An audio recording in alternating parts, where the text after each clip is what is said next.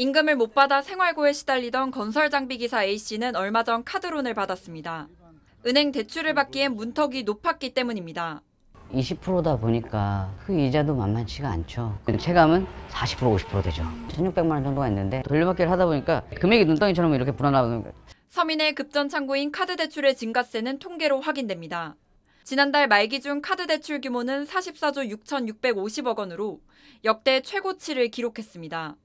특히 7월과 8월 카드론 증가액은 6천억 원 이상씩 기록해 평균치를 크게 웃돌았습니다. 가계대출 증가를 막기 위해 1금융권과 저축은행도 대출 조이기에 나서면서 급전이 필요한 서민들이 카드론이나 현금 서비스로 몰렸단 분석입니다.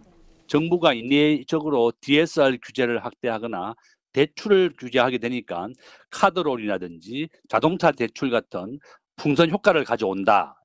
서민들의 상환 부담도 커졌습니다.